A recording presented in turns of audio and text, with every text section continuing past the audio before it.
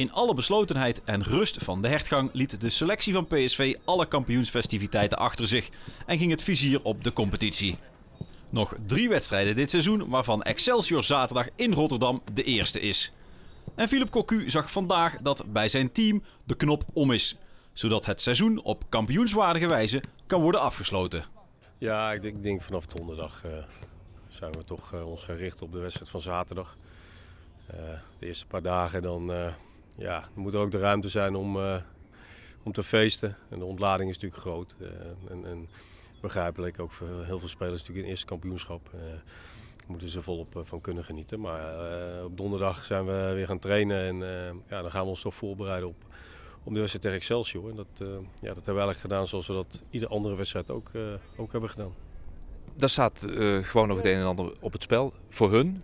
Dat is misschien ook prettig voor jullie, maar voor jullie ook. Prestige, status. Nou, absoluut. Dat vind ik heel belangrijk.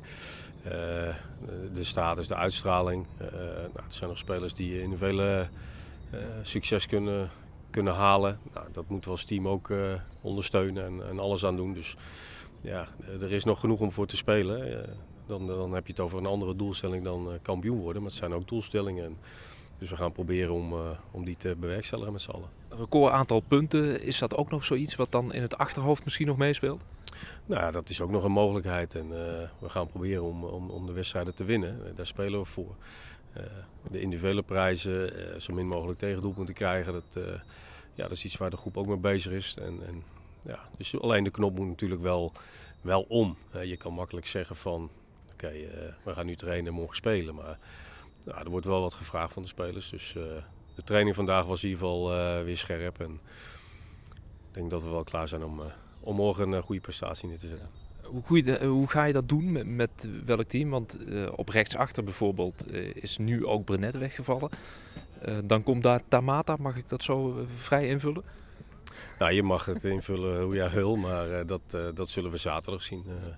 hoe we dat gaan, gaan oplossen. En, ja, dat is wel in ieder geval een keuze en een positie die we moeten gaan invullen. Ja, want ik zag je ook met de keepers praten. Gaat daar ook nog iets gebeuren dan? Dat is ook mogelijk, ja. leent het zich er ook voor? Of is het iets uh, ook om iedereen erbij te houden? Nou, kijk, je wil, uh, ten eerste wil, willen we presteren. Dat is natuurlijk het, het vertrekpunt. Um, aan de andere kant eh, is het ook een kampioenschap van het hele team. Uh, en dat, dat ja, is niet behaald door jongens die de meeste minuten hebben gemaakt of de meeste wedstrijden hebben. Dat, dat, dat heeft iedereen gedaan. Hebben we iedereen nodig gehad. Nou, dat kan best wel eens zijn dat er, dat er een keuze op iemand anders valt. En daarbij zeg ik zeker niet dat, dat ik het hele elftal zou gaan omgooien. Maar ja, een keuze kan best een keer op iemand anders vallen. Ja.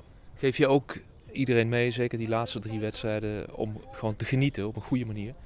Ja, nou, ik, ik vind het belangrijk dat we ons spel wat we het hele seizoen gespeeld hebben, in die wedstrijden ook weer laten zien.